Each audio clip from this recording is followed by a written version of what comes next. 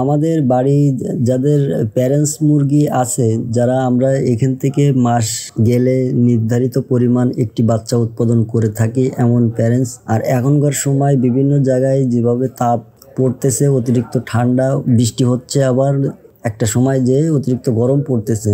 এই প্রচণ্ড গরমের ভিতরে ধান খাওয়াবো, আর ধানে আমাদের মুরগিকে কি কি সুরক্ষিত রাখবে সেই বিষয়গুলো নিয়ে, আর সঙ্গে কি মেডিসিনটা আমরা একদম অল্প বাজেটের ভিতরে আমি আপনাদের সঙ্গে এই শিডিউলটা করেছি। কারণ এখানে আমি খুব মুরগির সুস্থতা বিষয়টা নিয়ে চিন্তা করে দেখেছি।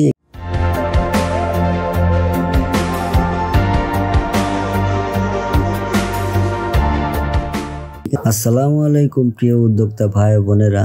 দেশ ও দেশের বাইরের থেকে যে যেখান থেকে আমার ভিডিওটি দেখছেন, সবাইকে জানাই স্বাগতম নতুন একটি ভিডিওতে। বন্ধুরা আজকে আমি আপনাদের সঙ্গে দেশি মুরগির গুরুত্বপূর্ণ একটি বিষয় নিয়ে কথা বলব। এই প্রচণ্ড গরমে আমরা মুরগিকে ধান খাইয়ে বাঁচিয়ে রেখে ঠিকঠাক মতো ডিম উৎপাদন করে বেরিয়ে আসব।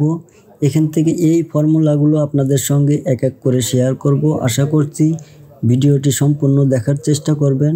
আর যে যেখান থেকে আমার ভিডিওটি দেখছেন, তো অবশ্যই ভিডিওটি যদি ভালো লেগে থাকে, তো লাইক দিবেন। আর আমার সঙ্গে যারা যুক্ত থাকতে চান, অবশ্যই চ্যানেলটিকে সাবস্ক্রাইব করবেন। আমাদের বাড়ি যাদের প্যারেন্টস মুরগি আছে, যারা আমরা এখান থেকে মাস গেলে নির্ধারিত পরিমাণ একটি বাচ্চা উৎপাদন করে থাকি, এমন প্যারেন্টস আর এখনকার সময় বিভিন্ন জায়গায় যেভাবে তাপ পড়তেছে, অতিরিক্ত ঠান্ডা, বৃষ্টি হচ্ছে আবার একটা সময় যে অতিরিক্ত গরম পড়তেছে। কি কি সমস্যাগুলো আমি ফেস করতেছি, এই বিষয়গুলো আপনাদের জানানোর চেষ্টা করতেছি।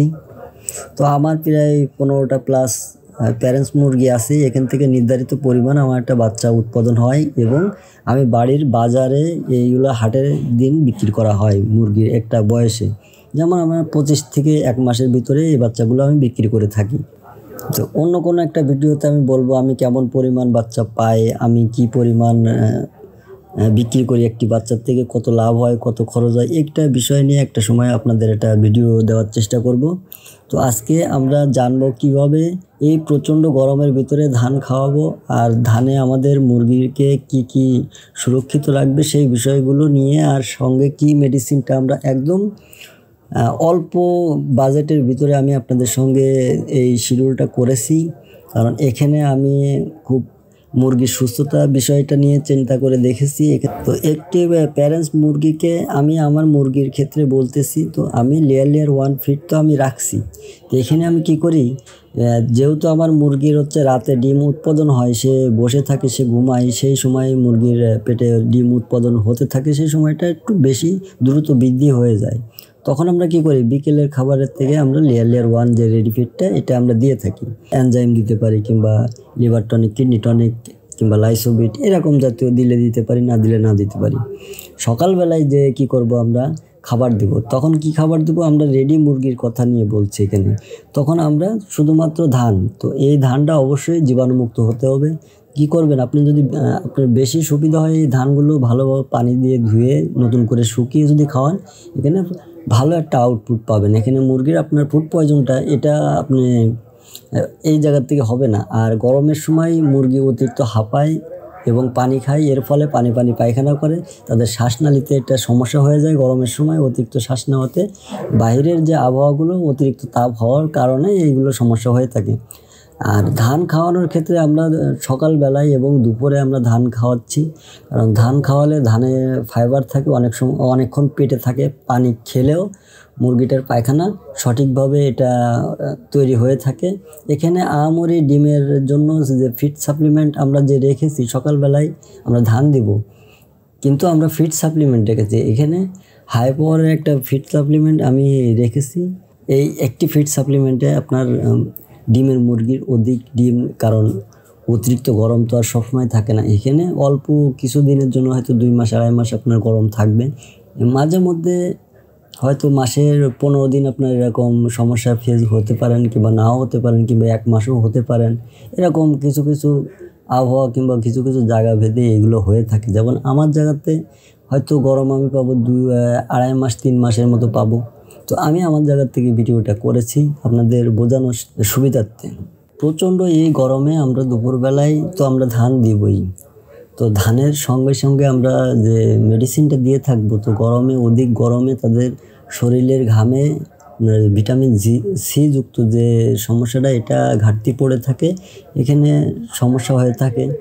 প্রচণ্ড গরমে বেলা, এই আবহাওয়াতে বেলা দশটার পর থেকে যতক্ষণ আপনার রোদের তাপটা থাকবে অক্সিজেনের সঙ্গে যে অতিরিক্ত যে তাপটা, যে গরমে যে আঁচটা থাকবে, সেই পর্যন্ত আপনি ভিটামিন সি যুক্ত যে স্যালাইন আছে, আপনার সি আছে, রেনার রেনাটা কোম্পানির আপনার সি আছে, এমনি আপনি লিকুইড সি স্যালাইন পাওয়া যায়। এগুলো যদি খাওয়ান, এগুলো যদি নাও থাকে, বাড়িতে যদি গুড় থাকে কিংবা চিনি থাকে লবণ, লেবু এগুলো দিয়ে বিভিন্ন প্রকার আপনার শরবত বানিয়ে মুরগিকে খাওয়ালে এখানে আপনার মুরগির যে ভাইরাসজনিত যে সমস্যাগুলো থাকে, গরমকালে বিশেষ করে ফুড পয়জনগুলো হয়ে থাকে, মুরগির পাতলা পায়খানা জনিত সমস্যা হয়ে যায়, ওখান থেকে আপনার রানীক্ষেত রোগটা সৃষ্টি হয়।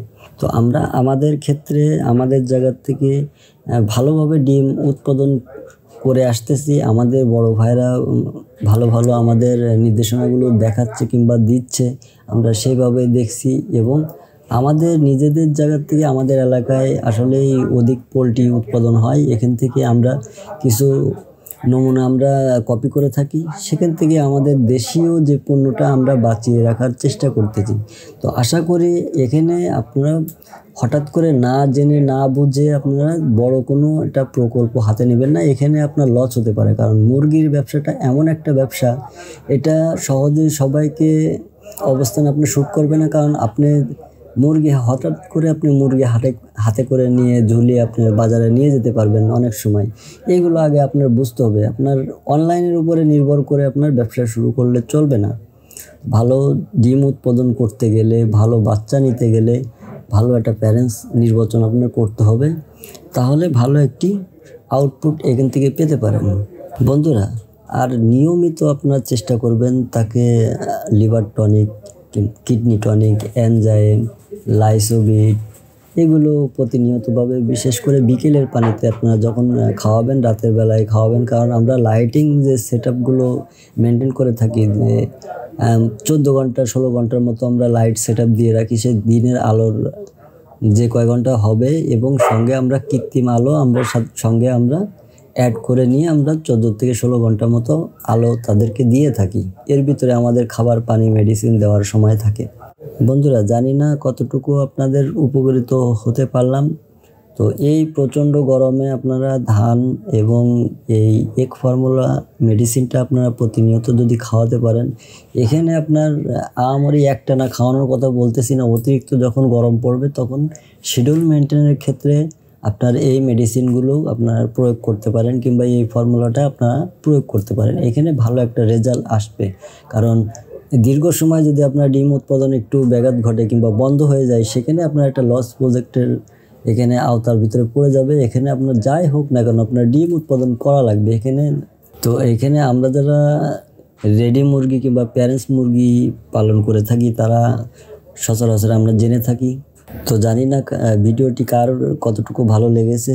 তো সবাই দোয়া করবেন, আর ভিডিওটা যদি ভালো লেগে থাকে তো লাইক দিবেন, আর কমেন্টস করবেন যে কোন বিষয়ে ভিডিও আপনারা দেখতে চান। তো সবাই ভালো থাকবেন।